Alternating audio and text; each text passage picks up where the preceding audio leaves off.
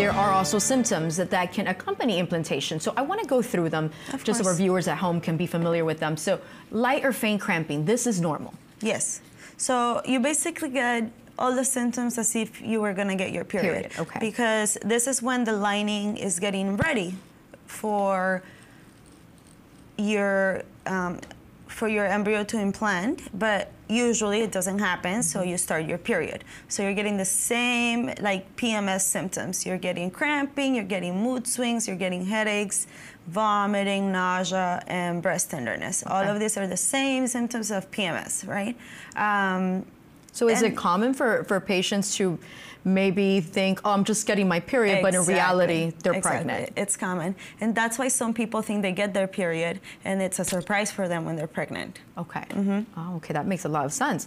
So is it usually, as you mentioned, a heavy flow or a very light flow? Usually very light. Very light Mm-hmm. flow.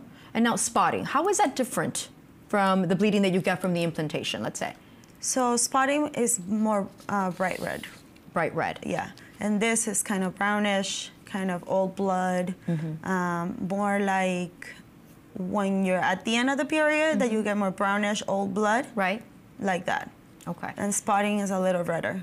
You have brought up subchorionic bleeding. Mm-hmm. Uh, let's talk about that and what it is. Okay, so when the placenta is forming, uh, we call it the chorion, right? So the chorion is the part that's feeding the embryo.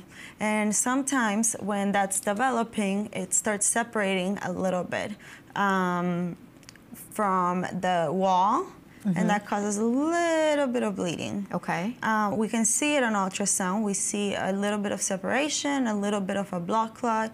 Um, sometimes it bleeds a little more than we want it to, but it doesn't really cause anything. It heals on its own. It goes on to develop the placenta.